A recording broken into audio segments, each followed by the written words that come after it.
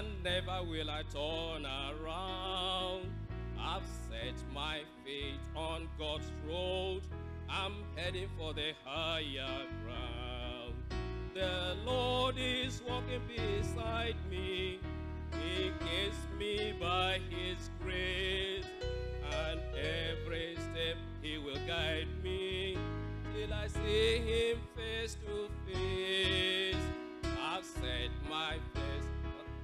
road, and never will I turn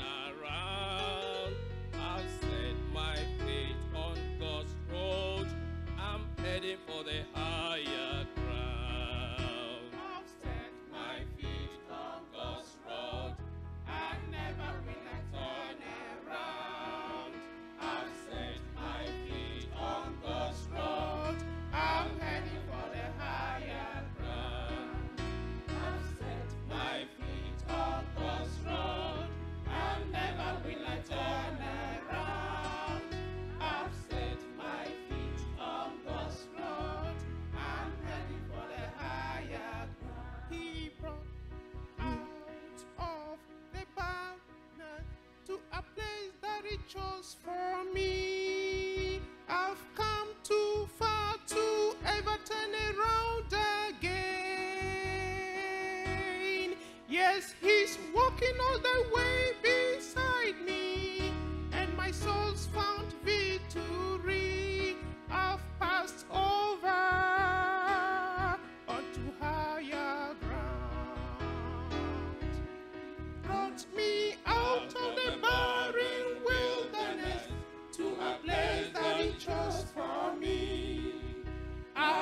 come too far to ever turn around again. Yes, he's walking all the way beside me, and my soul's found victory. I've passed over onto higher ground. I was living in the land of bondage where never saw the light of day. Thought I'd never be free again. God sent his only son to deliver me and to show me a better way. I've passed over onto higher ground. He brought me out of the barren wilderness to a place that he chose for me. I've come too far to ever turn around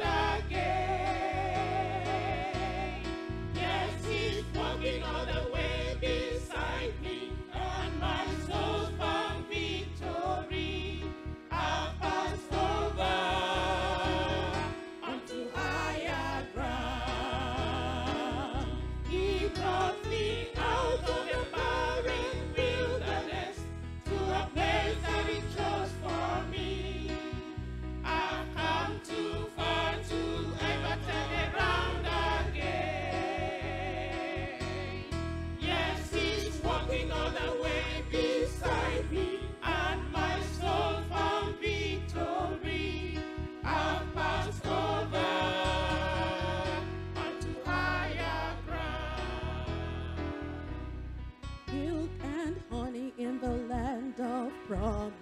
There are grapes hanging on the vine. I am camping with a happy band. Never gonna long for the leeks and garlic. I've left Egypt far, far behind. I've passed over onto higher ground. He brought barren wilderness to a place that he chose for me.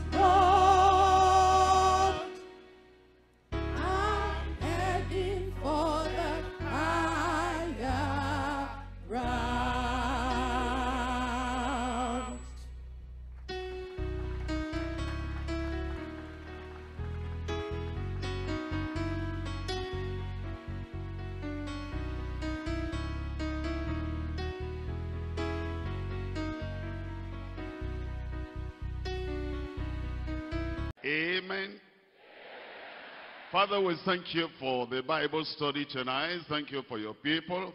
Thank you for those who are coming for the first time. We pray, Lord, that you will reach every life with your word tonight in Jesus' name. We're asking for all our pastors, overseers, leaders, and workers.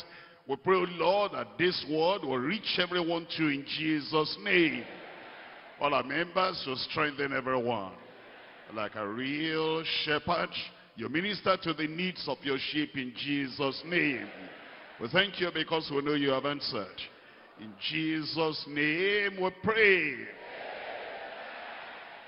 I welcome you to our Bible study tonight. As you have heard from the announcement, we're studying from the Gospel according to St. John. We started from chapter 1, now we're in chapter 10. And tonight we're looking at chapter 10 of John from verse 11 all through to verse 21. John chapter 10, verse 11. I am the good shepherd. The good shepherd giveth his life for the sheep. But he that is an hireling, a hired servant, and not the shepherd, whose own the sheep are not, sees the wolf coming, and leaveth the sheep, and flees, and flees. The wolf, and the wolf catches them, and scattereth the sheep. The hireling the hired servant flees because he's not is an hireling and careth not for the sheep. I am the good shepherd. I know my sheep, and I'm known of mine. As the Father knoweth me, even so know I the Father. And I lay down my life for the sheep. Another sheep I have, which are not of this fold, them also I must bring, and they shall hear my voice, and there shall be one fold, one shepherd. Therefore does my Father love me, because I lay down my life, and I take it again. No man taketh it from me, but I lay it down of myself. I have power to lay down, and I have power to take it again. This commandment I have received of my Father. We'll read verses 19 to 21 later. As you look at the passage, and you've heard and you have read together with me, you see he's talking about the shepherd. And he says, I'm the good shepherd. And he tells us the characteristic about that good shepherd. He laid down his life for the sheep. And then he takes it up again. That's talking about his resurrection. Actually, as you look at the whole chapter, our Lord Jesus Christ and Savior is teaching and revealing the truth about the shepherd and the sheep. But this particular passage from verse 11 to verse 18 that we have read is talking about a supreme sacrifice. The shepherd's supreme sacrifice for the sheep. That's the title of the message tonight. The shepherd's supreme sacrifice for the sheep. And you see that in this chapter, the Lord had actually started from verse 1, talking about the shepherd. Then he talks about the other people that came pretending to be the shepherd, claiming to be the shepherd, and proclaiming themselves to be the shepherd. But Jesus said they were not true, and they were not faithful. He gave this as a parable. Look at verse 6. This parable spake Jesus unto them. But they understood not what things they were, which he spake unto them. I pray tonight you will understand. Because you see, even though Jesus Christ himself, the greatest of teachers, the teacher come from heaven, spoke to them directly, and he spoke to them about himself, and about the shepherd, the shepherd who is the savior, the shepherd who gave his life, and the shepherd who came to save us from our sins. Yet, they didn't understand. His immediate audience, his immediate hearers, they were actually familiar with the shepherding of flocks, flocks of sheep. And yet, they couldn't understand. People in that nation, the nation of Israel, had become lost sheep. And it was sinful. And was saying that these lost sheep who have gone astray, he came to bring them, bring them back to their father, bring them back to salvation, bring them back to the fold of God. They were weak. He came to strengthen them. They were deceived. He came to show them the right way. They were ignorant. He came to instruct them, inform them, and reveal the mind of the Father in heaven unto them. They had been misled, but now he wanted to gather them together. They were vulnerable. That means they were open to attack, open to destruction. In fact, it says they were lost. See what he had said about them. We're looking at Matthew chapter 9. Matthew chapter 9, and we're reading from verse 36. In verse 36 it says, But when he saw the multitudes, he was moved with compassion on them, because they fainted, and they were scattered abroad as, look at this, as sheep having no shepherd. There are many people that claimed they were shepherds. They claimed they were teachers. They claimed they were leaders. They came, they, they, they claimed that they came to give instruction to the people. But actually they were not doing the work therefore. They were like sheep without a shepherd. Look at chapter 10. In chapter 10 of Matthew, the Lord still talking about uh, these people. He's sending out now the 12 disciples. And he's sending them forth so that they can preach to the people and bring the lost sheep back home. He says, but go rather Matthew chapter 10 verse 6, go rather to the lost sheep of the house of Israel. They were lost, lost in the wilderness of sin. But now these apostles and these disciples were to go to them and to preach the word of God to them. Look at verse 7. And as he go preach, saying the kingdom of heaven is at hand. But till the end of the ministry of the Lord Jesus Christ, they still couldn't understand, and they still couldn't come back to the Lord. And the Lord lamented over them, and the Lord wept over them. Luke chapter 19.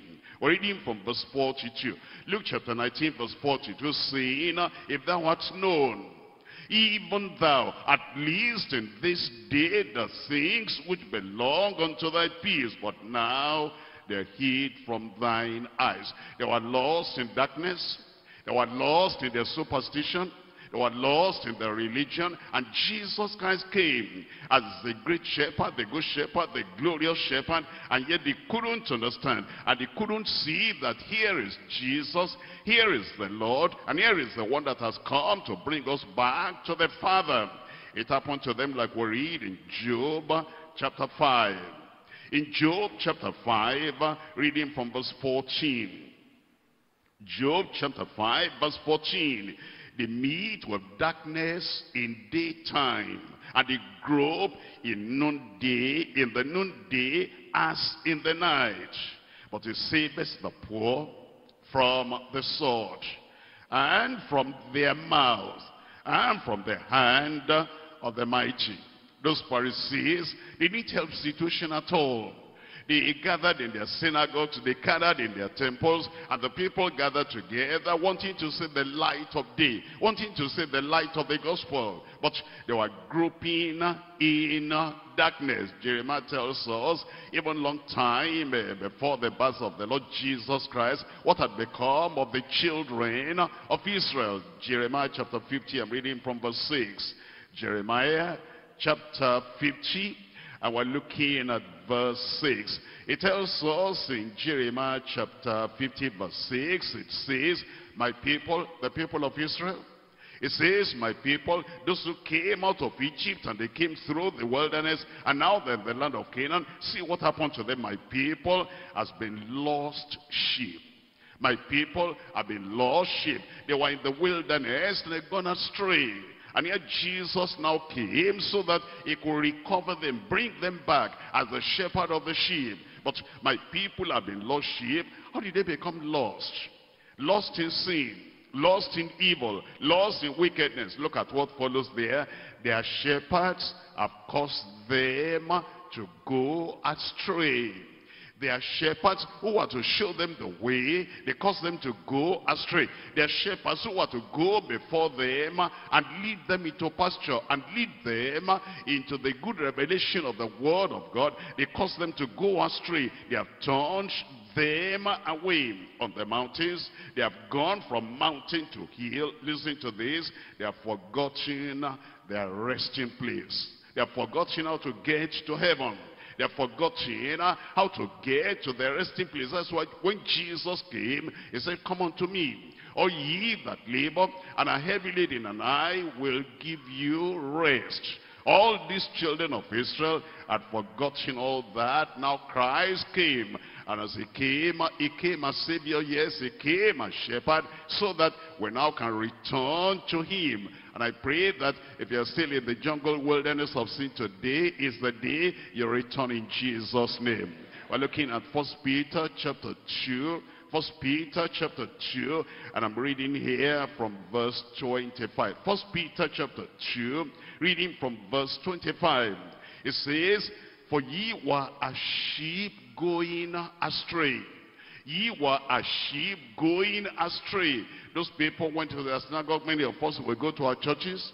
Those people went to their temple. Many of us go for conferences. Those people, they said they were serving the Lord, but they are going astray. Until Christ came and he began to call them one by one into the fold. He says, but ye were sheep going astray, but are now returned unto the, tell me, the shepherd and the bishop of your souls. Our souls that went astray our souls that were famished. Now the Lord is bringing us back. And as he brings us back, he brings us to his supreme sacrifice. Because he died for us to take away our sins. That's why we're talking about this tonight.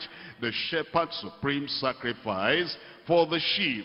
You see, as we have read, those leaders of Israel, the high priest and the Sanhedrin, the Pharisees and the Sadducees, the scribes and the teachers who were supposed to be shepherds over the people. What did they become? They became deceivers.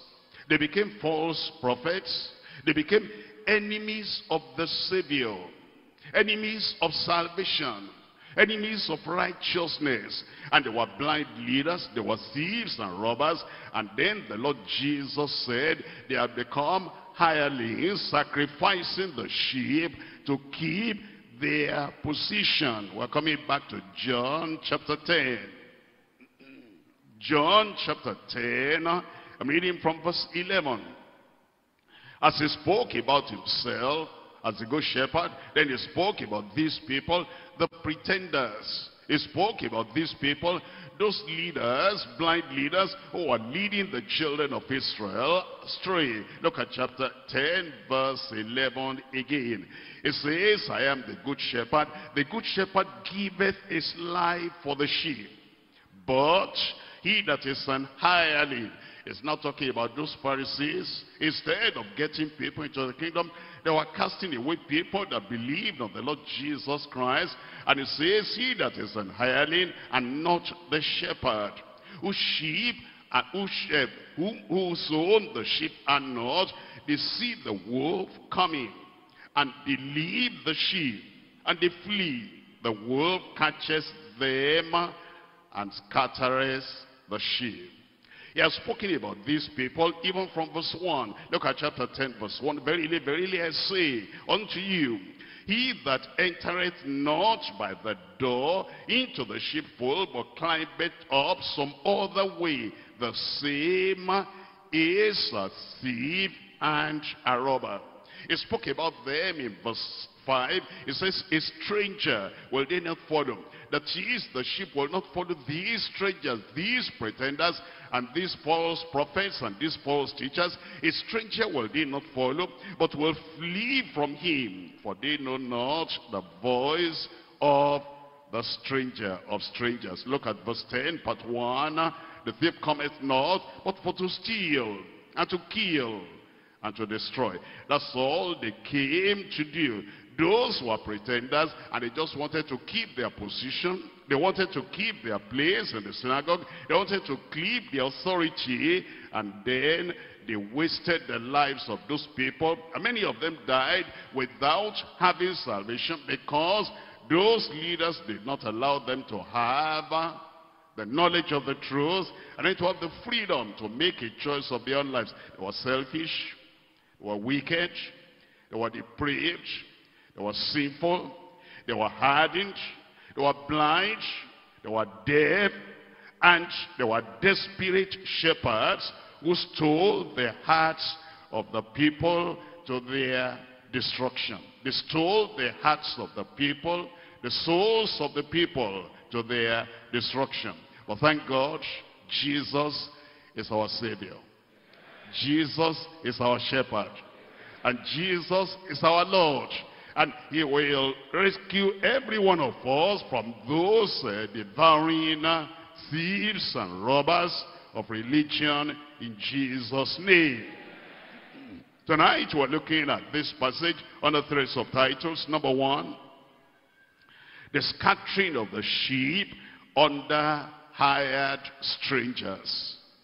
The scattering of the sheep under hired strangers. Already I've read to you from verse 5, the Lord Jesus referred to them as strangers. And that the real sheep, the true sheep, will not listen to them. Not only that, they were hirelings, they were hired hands, hired stewards, hired servants, or hired people, and they were hired strangers. Point number two, that is the sacrifice of the shepherd for helpless sheep. Sheep helpless, sheep apparently and seemingly hopeless. They couldn't help themselves, they've been lost. But now Jesus Christ made the supreme sacrifice. The sacrifice of the shepherd for helpless sheep. Point number three, the schism, that means division. The schism and the slander among hypocritical scoffers. The schism and the slander among hypocritical scoffers. We're coming to number one. Tell me your number one there.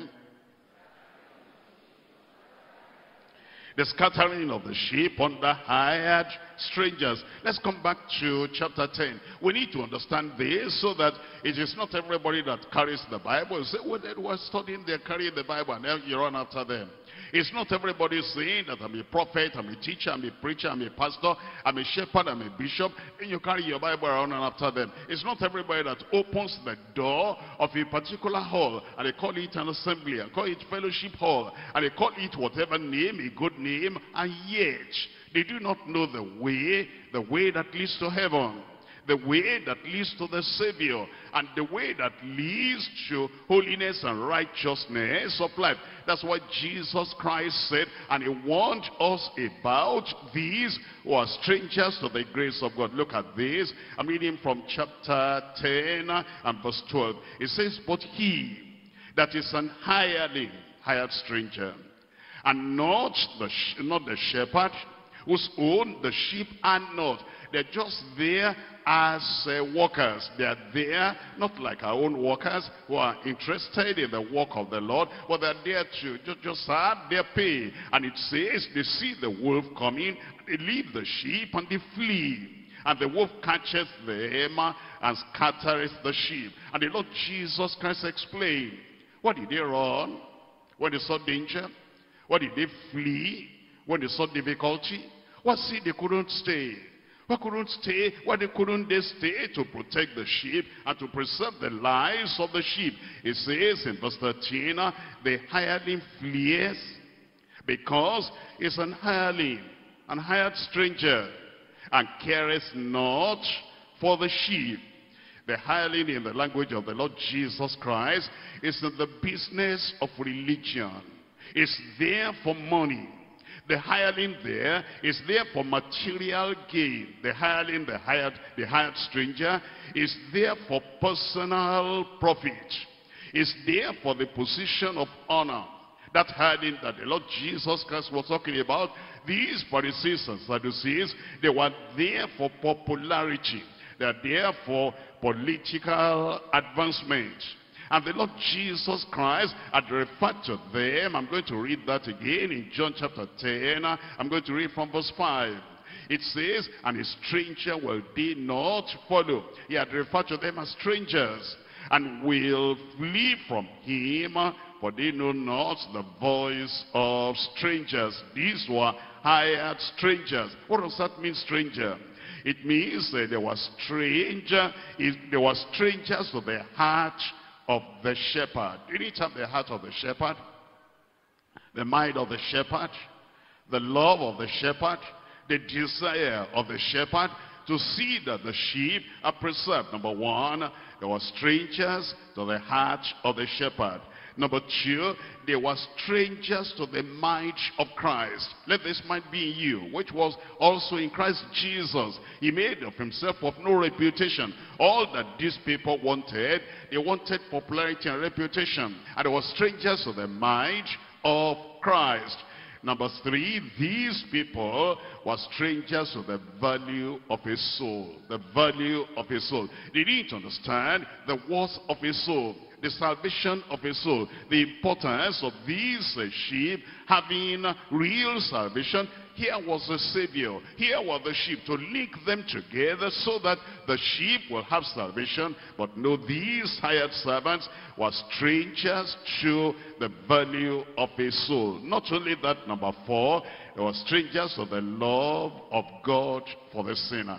They were strangers for the love of God, for the sinner. For God so loved the world that he gave his only begotten son, that whosoever believeth in him should not perish but have everlasting life. These people didn't know about that love, that God, the Almighty, paid such a great price so that souls will be born again. Uh, they didn't have any of that. Number five, there were strangers of the demand of holiness for heaven. Hirelings, hired slaves, hired servants, hired strangers. They were strangers to the demand of God that without holiness no man will see the Lord. They manifested anger, they manifested envy, they manifested jealousy, they manifested uh, slander, they manifested quite a lot of this because they were strangers to the demand of God on holiness without which no man shall see the Lord. The hireling was just for hire. And if there's a sheepfold, if the sheepfold scatters, they go to another sheepfold and look for employment so that they can be employed another place. See how the Bible talks about them. I'm reading from Micah chapter 3. Micah chapter 3 that these were hirelings, these were not people interested in the salvation of souls, interested in uh, the holiness of souls, interested in the things of the Lord at all. Well, we're coming to Micah chapter 3, and I'm reading here from verse 11. Look at this. The heads thereof judge for a word when he says the heads thereof, the heads of denominations in our day, and the heads of churches in our day, and the heads of ministries in our day, and the heads of religious uh, religious congregations. He says the heads thereof judge for a word, the priests thereof teach for hire the, the, the priests thereof, they teach for salary. And as you look at the religious world today, that's what you find. Uh, what can I get out of this? How much money can I get out of this? How much uh, benefit can I get out of this? Because it says the priests teach for hire, those are the hirelings, and the prophets thereof divine for money. The prophets thereof, they'll prophesy, they pray for people, and they jump from here to there. And it is how much money can they get out of the offering prayer for people, yet will they lean upon the Lord and say, Is not the Lord among us, and none evil can come upon us. It says, Therefore shall Zion for your sake be plowed as a field and Jerusalem shall become hills, and the mountain of the house of the as the high places of the forest. Uh, you, you see, it's not only at this time now people are working, doing religion for hire, and they're having, uh, you know, whatever it is, uh, this great event for hire, and for money, for what they can get out of it. It's been for a long time. We're looking at Nehemiah. Nehemiah chapter 6, you'll find there's some people here, you know, there are people that prophesy. And then you'll wonder, are they giving that kind of prophecy to be good for everybody? And, uh, you know, next uh, next month, uh, everything is going to turn around. Economy will turn around. This one will turn around. Are they prophesying like that? They want to say what people want to hear because they are looking for something, personal gain, personal profit, and personal promotion. Nehemiah chapter 6, I'm reading there from verse 10. It says in verse 10 afterward, I came unto the house of Shemaiah, the son of Delaiah, the son of Metabiel. And he says, who was shut up, and he said, let us meet together in the house of God, house of God, house of God. That's where they want to be all the time. And that's where they do their business all the time. Let us meet together in the house of God within the temple. And let us shut the doors of the temple. For they will come to slay thee. Yea, in the night they will come to slay thee. And I said, should such a man as I flee who is there that being as I am will go into the temple to save his life. I will not go in. But look at this, look at this, verse 12. For, and lo, I perceived that God has not sent him but that he, prophes he pronounced this prophecy against me for Tobiah and Sanballat had, tell me, hired him. They gave him salary. They gave him money. They said, you know, Nehemiah is up and doing. Uh, Nehemiah is building the wall. Nehemiah is going to protect the people of God. Nehemiah is like a shepherd. He wants to gather them into the sheepfold, weaken his son, discourage him, destroy him, and tell him to go and hide somewhere. Tell him there is danger. Tell him there is insecurity. Tell him that, you know, if you come over here, they will kill you. If you go over there, they will kill you. If, if you go on building that wall, they will kill you. Therefore, come in here and they protect your yourself. Nehemiah said they hired him. They hired him, they gave him money so that he'll come and say that. Look at verse 13. Therefore, he was hired that I should be afraid and do so and sin and that they might have matter for an evil report that they might reproach me. If you're doing something good for God, I pray that those hired strangers, they will not stop you. I said it will not stop you. You know, all the slander and the gossip and the, you know, undercurrent kind of talk, uh, you know, it is not the time to do evangelism. This is not the time to go about seeking for souls. This is not the time for, you know, you men and women and you go to that street and go to that street and touch that one and touch that one and you say, come to the Lord. Those people, they are evil. Have you heard of this? Have you heard of this? They are hired by Satan and those hired uh, strangers, they will not affect you. They will not affect your conviction.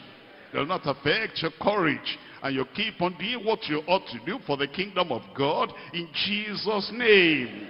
Look at this. We're looking at Job chapter 7 verse 2. Job chapter 7. I'm reading here from verse 2. As a servant earnestly desires the shadow and as an hireling looketh for the reward of his work. He's talking about people here. All they're looking for, they're looking for, when are they going to pay us now? Well, thank God for our church here. Say, we thank you for, we thank God for our church. I can't hear our people. Uh, you know, in some other places, if they do any little thing, the pastor must, you know, pay them something. If they do anything, the pastor must, you know, give them something. That's an award here, another award here, another award here. Maybe it's a car, maybe it's this, and maybe it's this. That's how they do the work. But, you know, thousands and thousands and thousands of workers here, you just come, you spend your time, you spend your money. You are not an hireling. I said you are not an hireling and God will reward your work wonderfully in Jesus' name. But you see, these people, they're so much in a hurry. In a hurry, when are we going to get this and when are we going to get that? They distributed rewards and awards uh, last year. When are they going to do it for this year? The year is running out. But thank God here, our reward is in heaven. And our reward will come from the Lord Almighty himself in Jesus' name and the joy of service, that will be the strength of your life in Jesus' name. Isaiah, Isaiah chapter 56, look at the hirelings here. Isaiah chapter 56, I'm reading from verse 10. Isaiah chapter 56, we're reading from verse 10, is watchmen are blind. It's talking about these people who say they are watchmen over the people, they are watching over their souls, they are watching over their interests, and they're watching over their spiritual lives. And it says his watchmen are blind, they are all ignorant. They are dumb dogs that they cannot bark, sleeping, lying down, loving to slumber. He says, ye, they are greedy dogs that cannot have enough the greedy dogs that cannot have enough. That means they're for hire. And if, you know what they have given us not enough, give us more, give us more. And it says they are shepherds that cannot understand. They all look to their own way, everyone for his gain from his quarter. They're looking for gain. I pray that your, your service will not be like that. Your service will not just be for people, but your heart will be there. Your mind will be there. Evangelism, your heart is there. Soul winning, your heart is there. House fellowship, your heart is there. Serving the Lord, singing to the glory of God, your heart is there. And all the other things we do in the household of faith, I pray that as you put your heart there, you'll not be like these hirelings in Jesus' name. In Ezekiel chapter 22, I'm reading from verse 27. Ezekiel chapter 22. And we're reading from verse 27. It says, Her princes in the midst of her are like wolves, ravening the prey, to shed blood and to destroy souls, to get dishonest gain. You see that? They'll destroy souls to get dishonest gain. There are people that they do not know the value of souls. They're strangers to the kingdom of God. They're strangers to Calvary. They're strangers to the reason why Jesus Christ died for the sinner. And what they will do, they will do anything so that the people ought to get saved and the people ought to repent, the people ought to return from their backsliding, they will not return so that they'll have their own gain. Look at that part again, the second part of verse 27. It says to destroy souls, to get dishonest gain. Look at verse 28. Our prophets have them with untempered mortar seeing vanity and divining lies unto them, saying, Thus says the Lord God, when the Lord has not spoken. Thus says the Lord God, when the Lord has not spoken, the things the Lord has spoken, the word of God, the things the Lord has spoken, the word of salvation, the word of righteousness, all that they close that up, and then they begin to say other things, what the Lord has not said, and it is just to destroy souls, they will not catch you. They will not destroy your soul. We're looking at Zephaniah. Zephaniah. I hope you know where Zephaniah is. Go on opening the Old Testament to Hosea to Amos and then you're coming near the end of the Old Testament and then you're going to come to Zephaniah. Zephaniah chapter 1. Zephaniah chapter 1. And here we're reading from verse 1, chapter 3 rather. Zephaniah chapter 3. Zephaniah chapter, tell me, chapter 3, and we're reading from verse 1. Look at this. They say, Woe to her that is filthy and polluted, to the oppressive city. She obeyed not the voice. She received not correction. She trusted not in the Lord. She drew not near to her God. Look at that. As you look at that, they don't have any connection with the Lord. They don't have any relationship with the Lord. It says her princes within her are running lions. Her judges are evening wolves. They know not the bone till the morrow. Her prophets are light and treacherous persons. Her priests, have they have polluted the sanctuary. They have done violence to the law. They have done violence to the law. They take the word of God, they remove it from the root. They do violence to the word of God. They tear the word of God apart and they misinterpret the word of God just to have their own way and to have their own gain. Look at verse 5. The just Lord is in the midst thereof. He will not do iniquity. Every morning does he bring his judgment to light. He faileth not, but the unjust knoweth no shame. The unjust knoweth no shame. That's why Jesus Christ always wants. You see, there are people that will say, I, I will just preach what I want to preach. I will preach the truth. I don't want to concern myself about, uh, you know, what other people are doing. Let them do what they're doing, and then I will do what I'm doing. I don't want to oppose anybody. I don't want to criticize anybody. No, you're not criticizing anybody. You're not opposing anybody. You're just reading the words of Jesus Christ. Because Jesus said, there are strangers. He said, there are hirelings. If you're going to be faithful to the word of God, you have to read the whole of the word of God and interpret the word of God very well. You're not looking at the faces of those hirelings. You're not looking at the faces of those uh, strangers. You interpret the word of God so that they'll come under conviction and they'll turn away from their evil. Matthew chapter 7, we're looking at verse 15. Matthew chapter 7, reading from verse 15.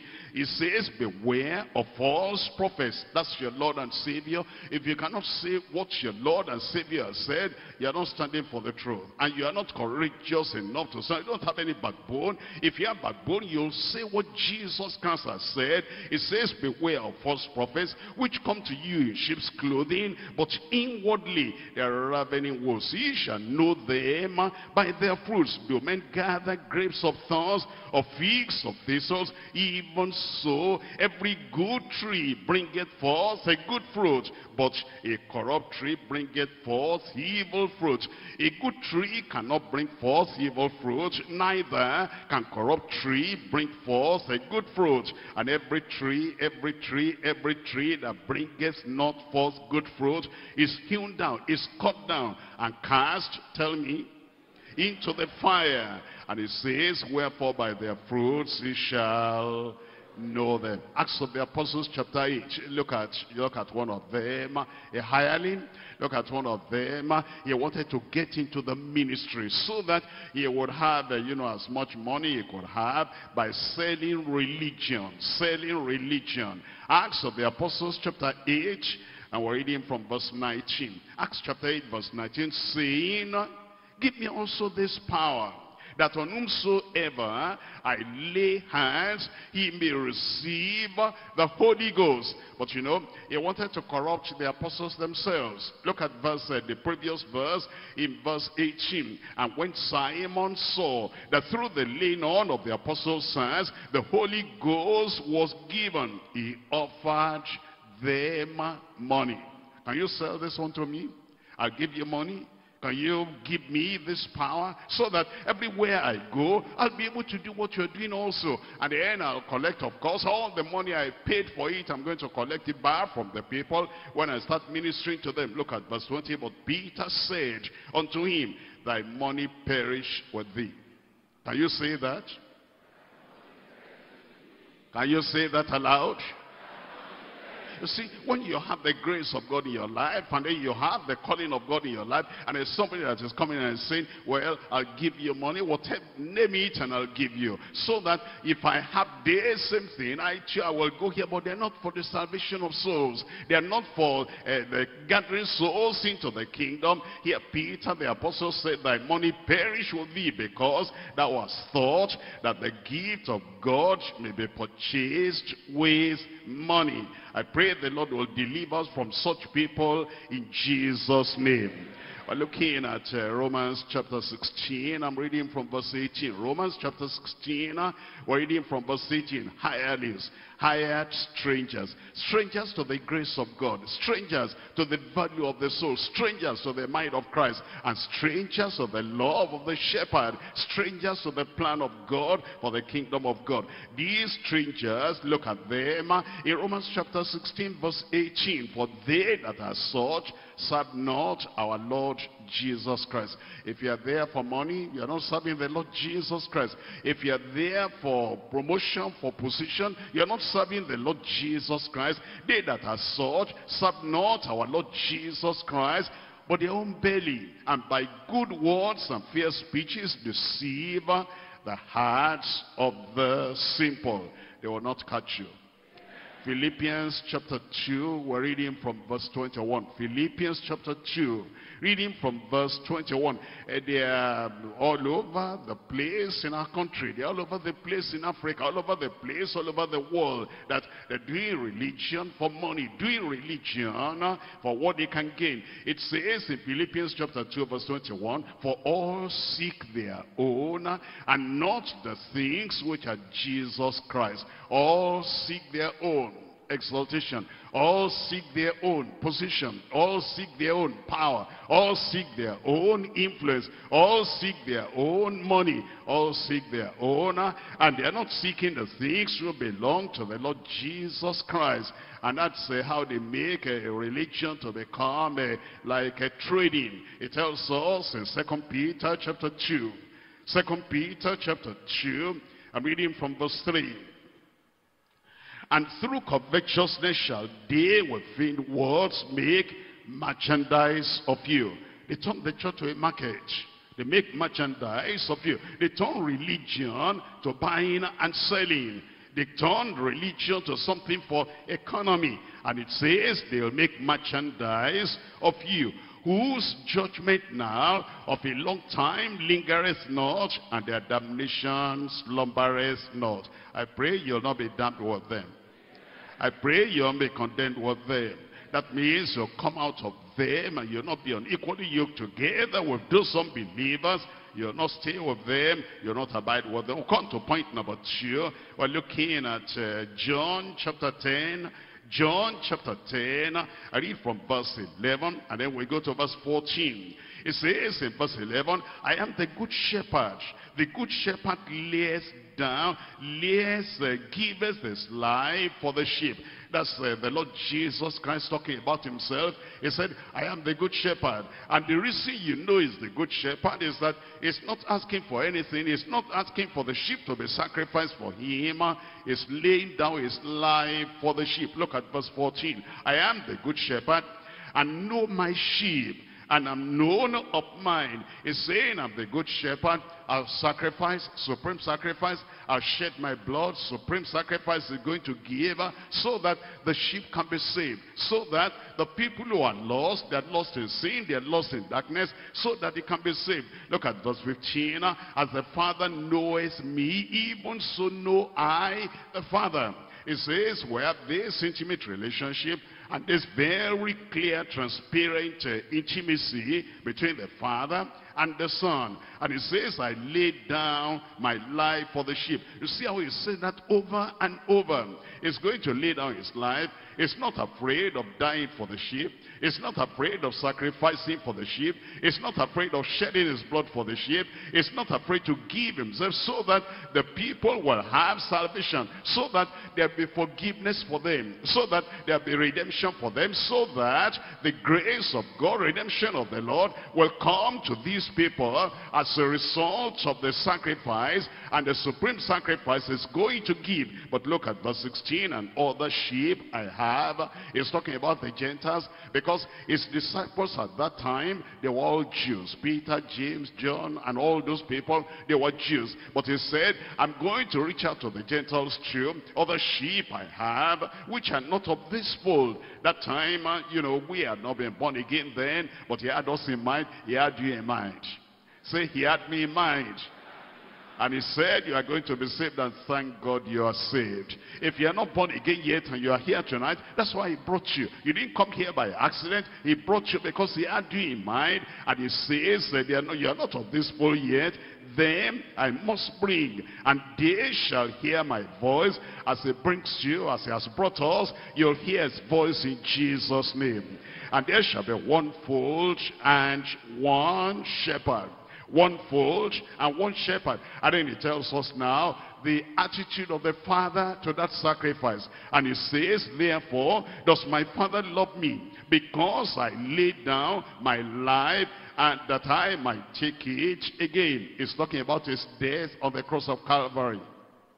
And then his resurrection. It says in verse, uh, in verse 18, No man taketh it from me. If he didn't want to die, he wouldn't have died. Because he said, I could call 12 legions of angels from heaven if he needed a kind of protection or bodyguard. And those people, they couldn't have been able to arrest him. You know, when they came and they said, we're looking for Jesus. He said, who are you looking for? They said, we're looking for Jesus. He said, if you're looking for Jesus, I am he. Let these people go. They fell on the ground. They got up again and they said, but I told you, I am Jesus. He had the power. He had the authority. He could have destroyed all of them. He take his life. He laid down his life for you and for me because of his love. He loves you. I said he loves you. I can't hear our people. I said he loves you. That's why he said, no man taketh it from me, but I lay it down of myself. And he says, I have power to lay it down, and I have power to take it again. That's resurrection. This commandment I have received of my Father.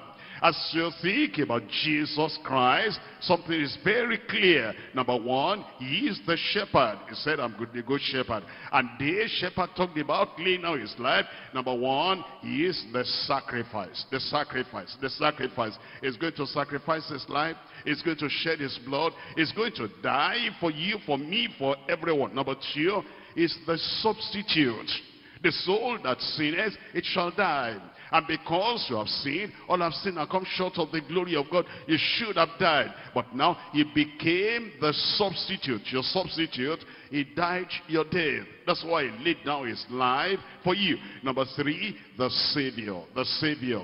That's why he laid down his life so that you can be saved. So that after that death, after that sacrifice, whosoever shall call on the name of the Lord shall be saved. He became your sanctifier your sanctifier. You know, we have the Adamic nature.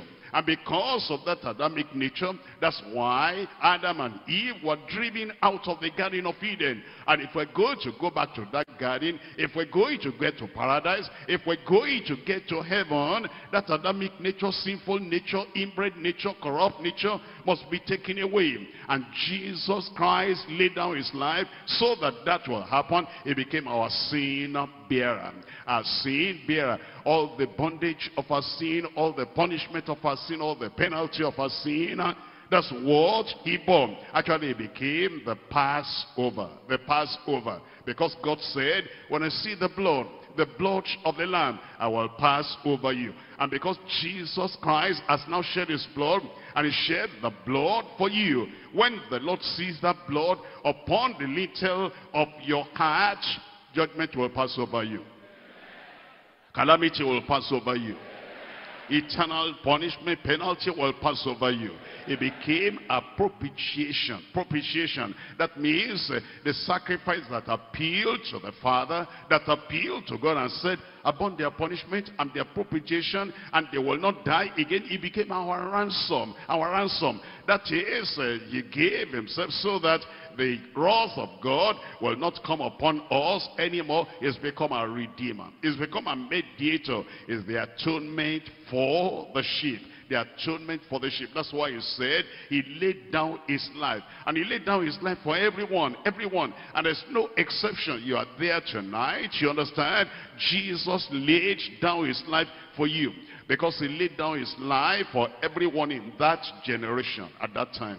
He laid down his life for every generation until this generation. And now you can come to the Lord. And as you come to the Lord, he will take all your sins away.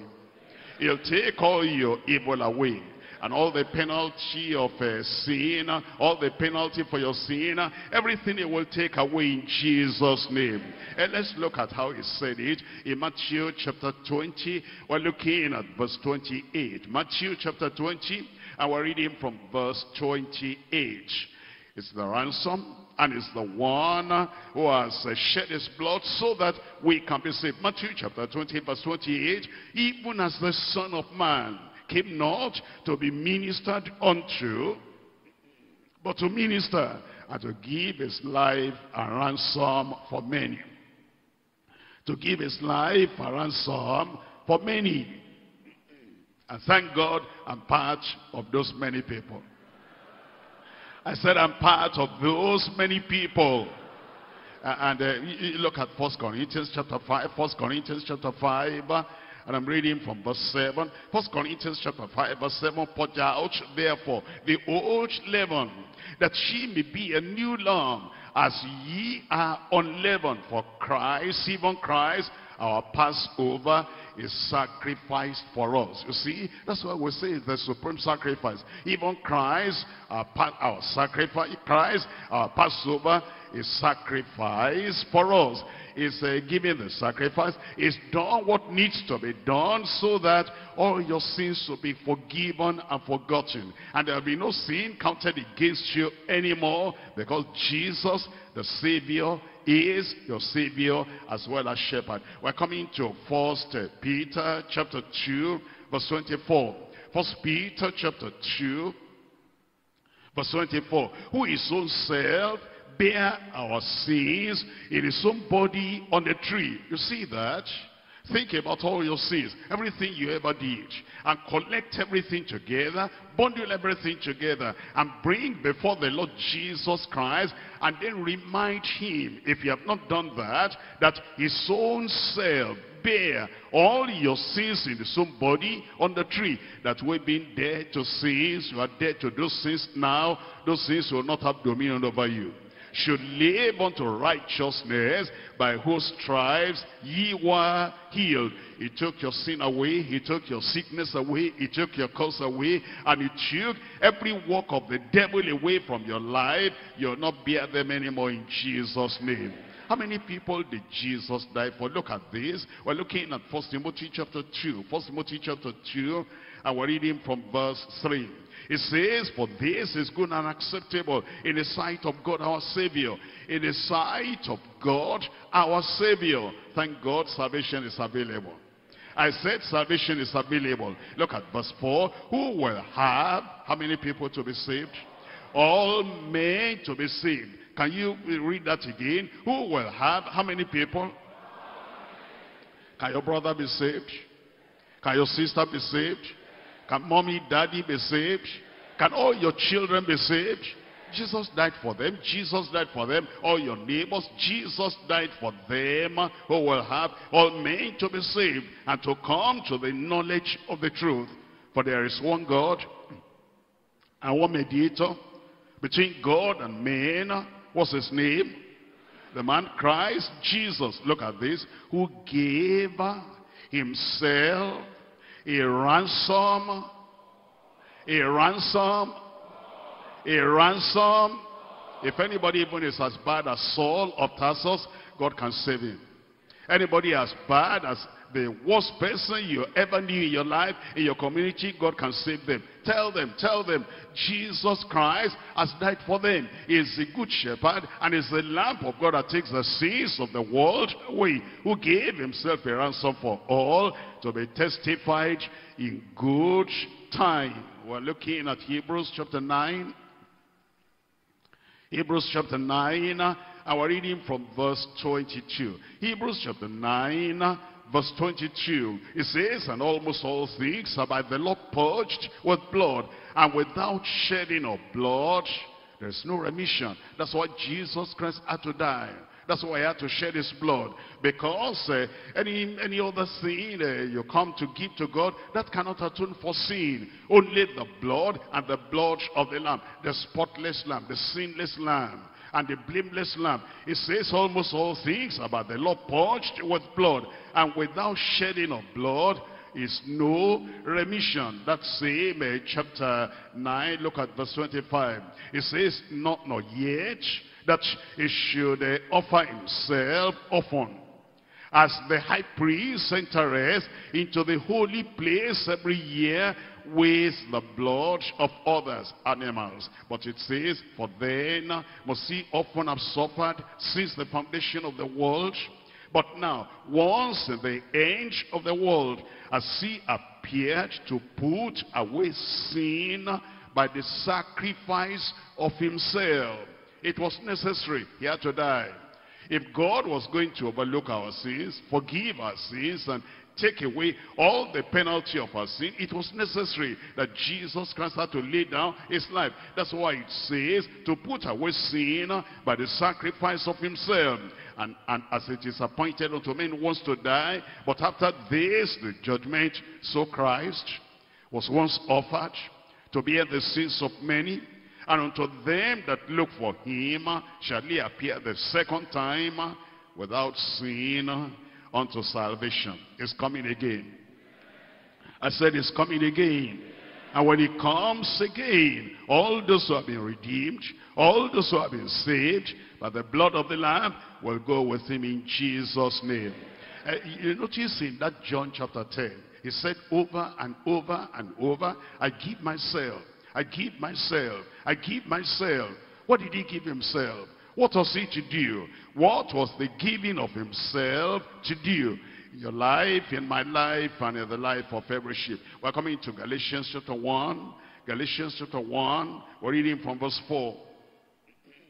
He gave himself. Galatians chapter 1, verse 4. Who gave himself for our sins. You see that? You see that? It's done it already. Everything that needs to be done for your salvation has been done. All you need to do now, turn away from those sins and then come to the Lord who gave himself our sins that he might deliver us from the present evil world. Every evil in the world, he will deliver you. It's done already. It's done already. He has paid the he has paid the price already.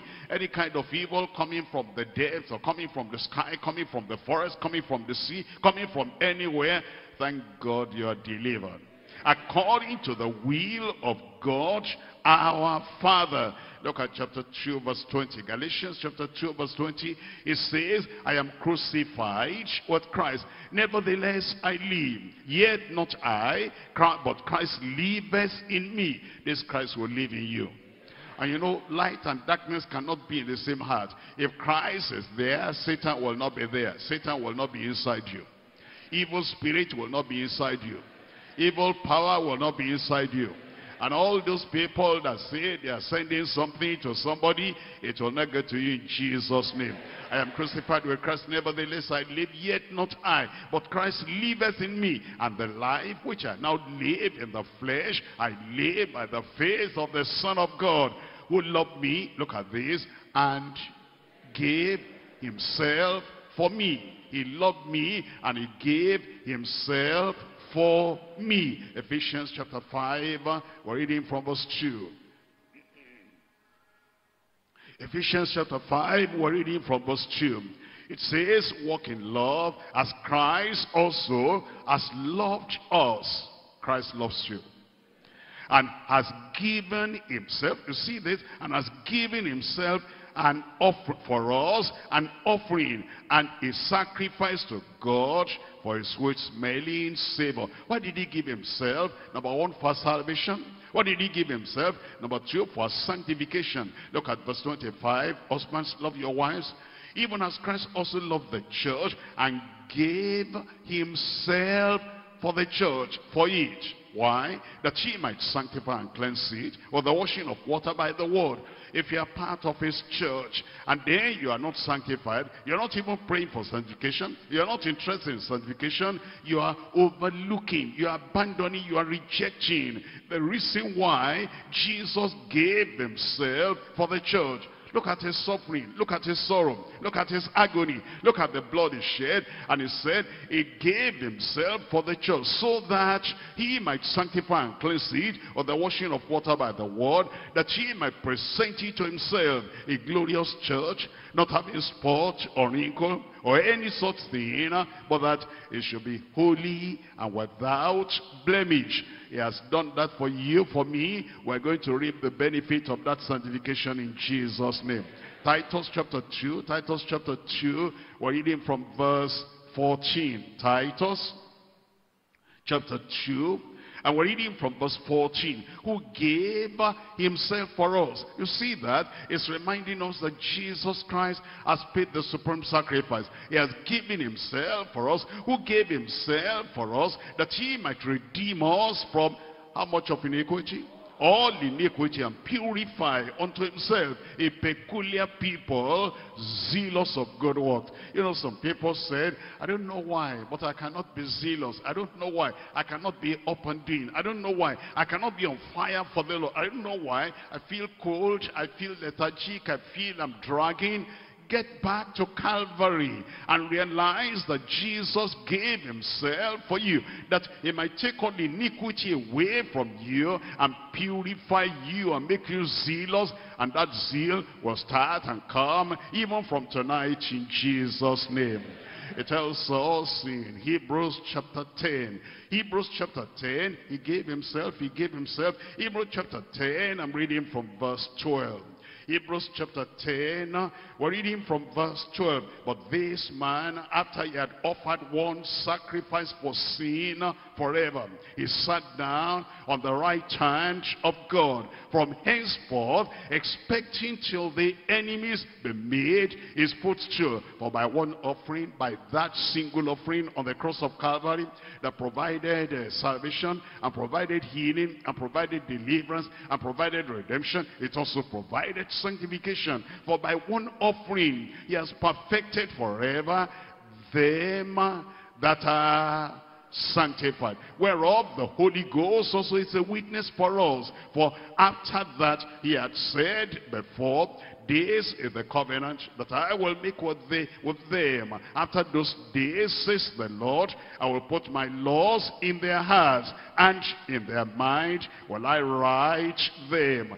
And their sins and their iniquities will I remember no more. On the basis of what Christ has done. Hebrews chapter 13. Verse 20 and verse 21. Hebrews chapter 13, verse 20. Now, the God of peace that brought again from the dead. He said, I, I have power to lay down my life. I have power to take it up again. And he says now, he brought him again from the dead. Our Lord Jesus Christ, that great shepherd of the sheep. Who is Jesus Christ? That great shepherd of the sheep. I said it was Jesus Christ. That great shepherd of the sheep. I said it was Jesus Christ.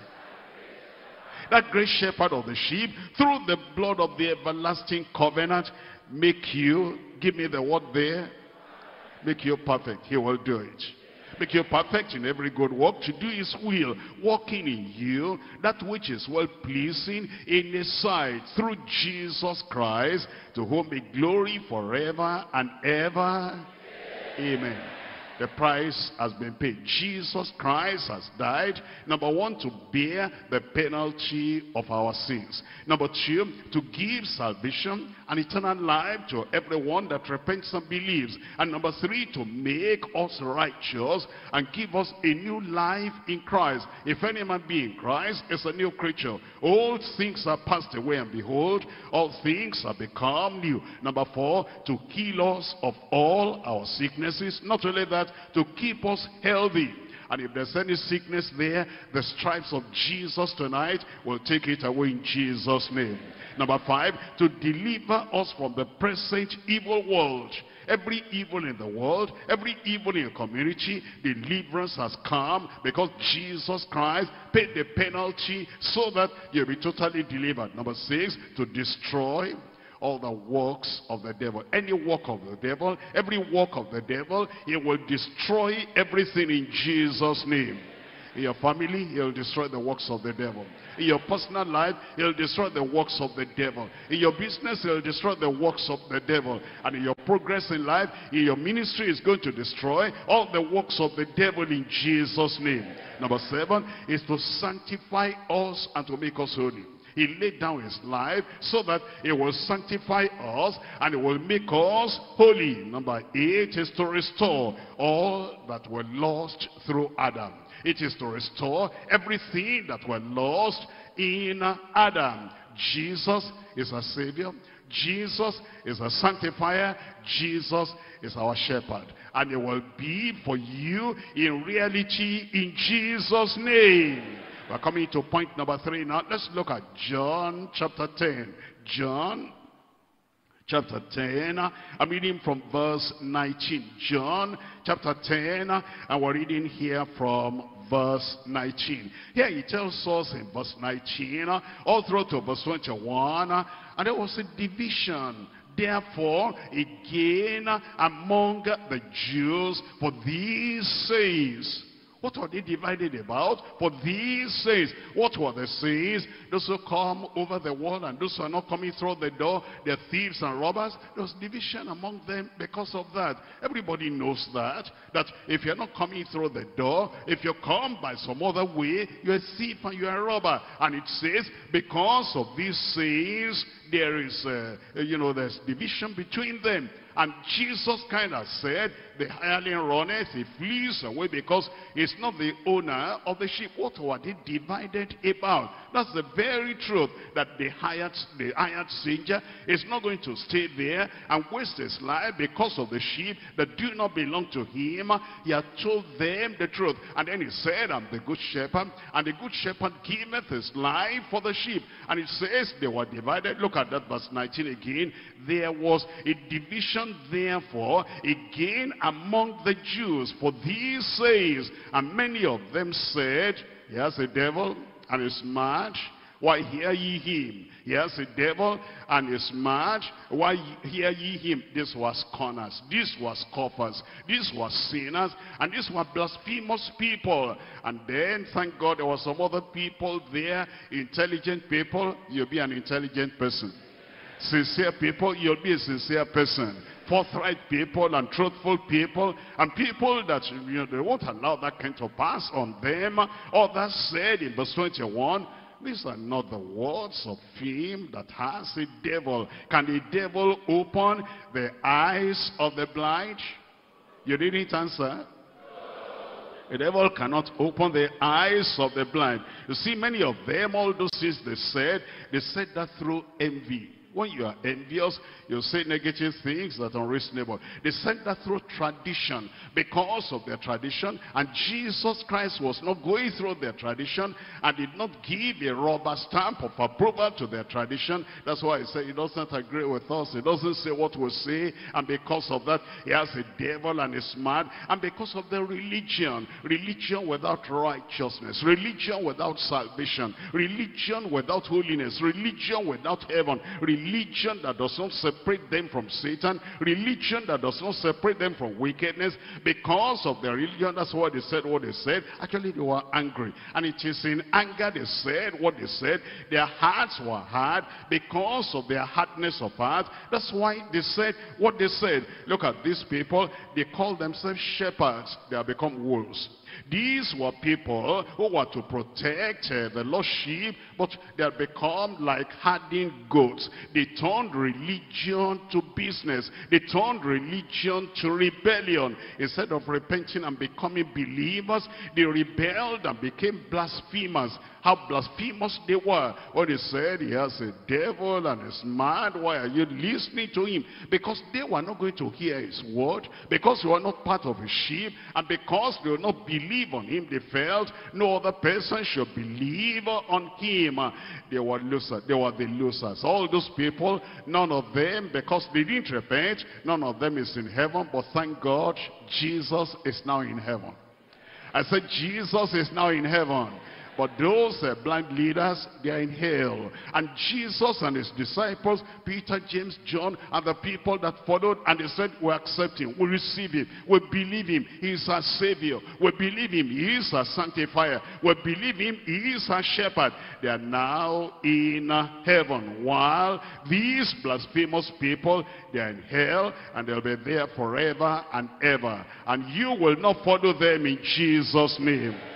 Look at this. The Heavenly Father spoke from heaven and said, This is my beloved Son, in whom I am well pleased. The person that God the Father testified about, they said, he has a devil and is mad. And the person that the angel said, his Savior is born this day in the city of David. And then is peace for everyone all over the world. Angels called him Savior. They said he has a devil. The psalmist said, is my shepherd. The Lord is my shepherd. I shall not want. The one one that the shepherd called, the, the David, David called a shepherd, they said he is a, devil, and the one the Spirit of God called the sanctifier. He said he's a sanctifier. The Spirit of God that recorded that through those uh, apostles in the Word of God, God called him son, and the angels called him savior, the psalmist called him shepherd, and the Spirit called him sanctifier, and they called him by another sinner.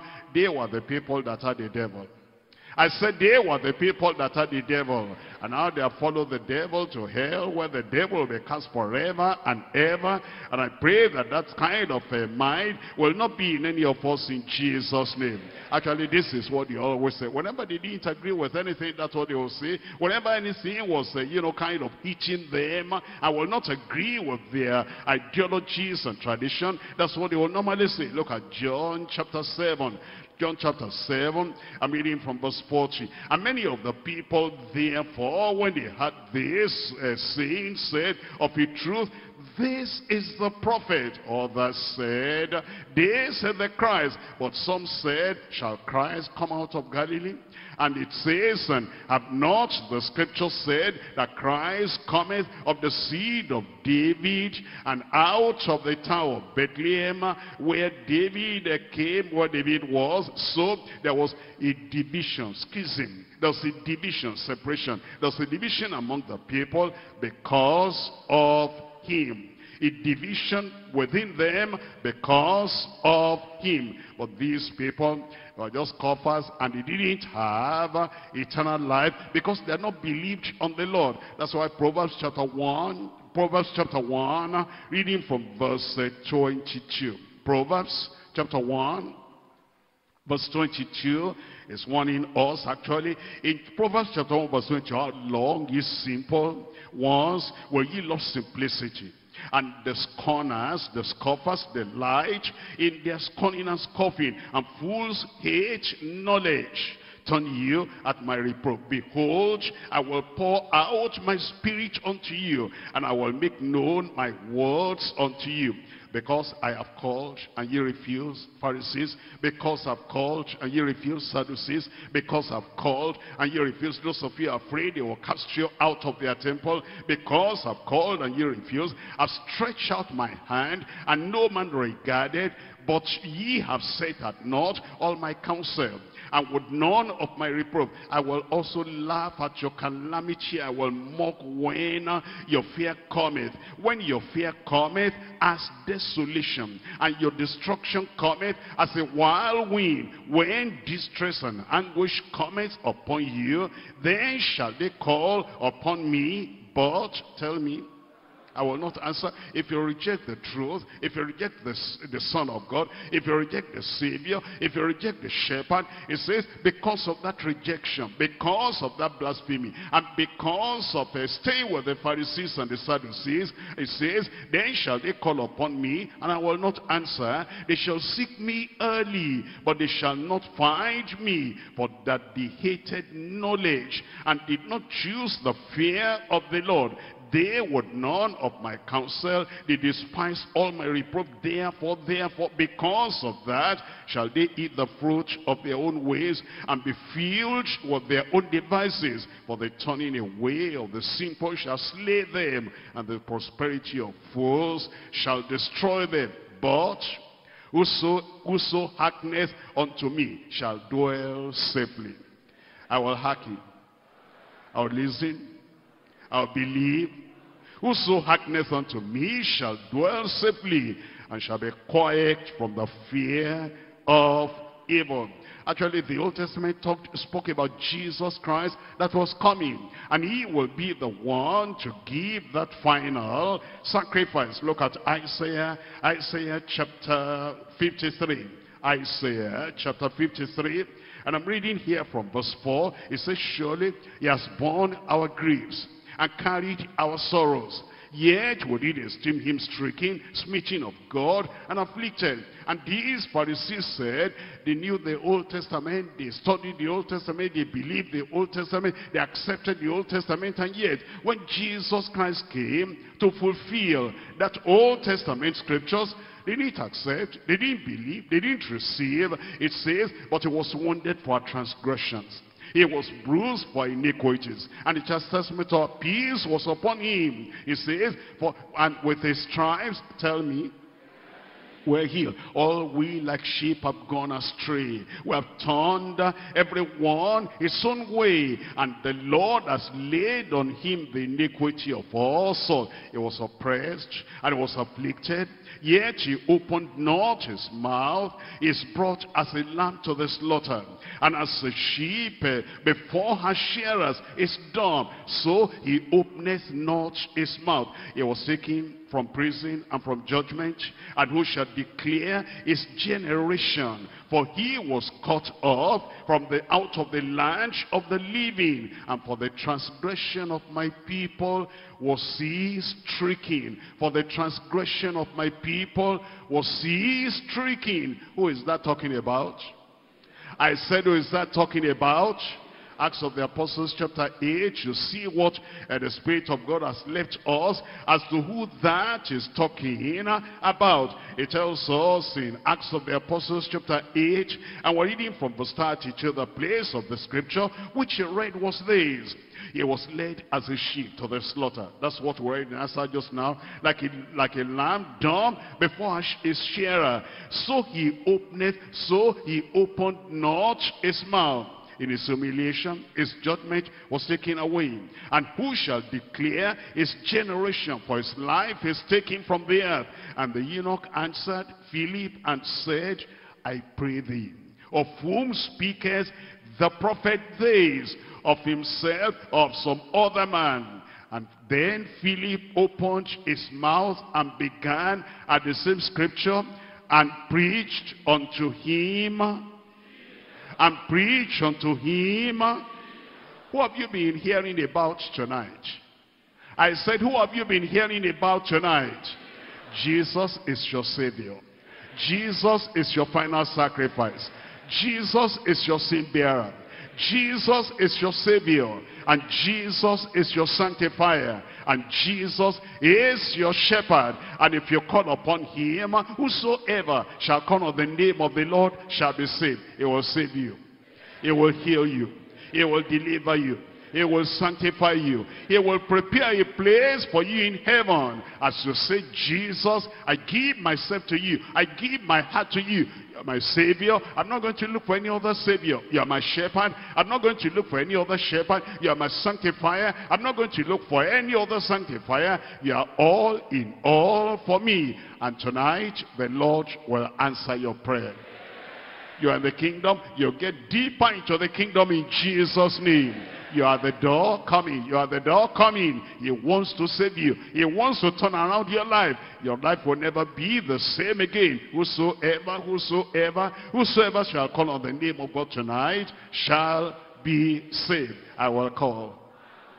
I will pray I'll make him my Savior, my Lord, and my shepherd, everything to me. Rise up and tell the Lord. Rise up and tell the Lord. He wants to do that for you now. And he wants to take away any sin of the world, any sin of sin, any sin of Satan, any sin of the devil. He wants to be your Savior. He wants to be your sanctifier. He wants to be your shepherd. He wants to be everything for you. Blessing is waiting for you today. Why don't you rise up? Why don't you rise up? The Lord is waiting for you. The Lord is waiting for you. Don't be slow about it. Close your eyes and open your mouth and tell the Lord, Oh Lord, here am I today. Here am I today. Here am I today. I make you my Savior. I make you my Lord. I make you my Redeemer. I thank you because you died for me on the cross of Calvary. You're the final sacrifice. And you're the perfect sacrifice. You are the acceptable sacrifice. I accept that right now. I receive that right now. Lord, here am I cleanse me from all my sin and break the power of sin away from my life. You're my Savior. You're my Lord. You're my Shepherd. You're my Sanctifier. And I pray, Lord, everything I need to get to heaven, you have provided. Do it for me right now. You will do it. Call upon the name of the Lord. He will answer your prayer.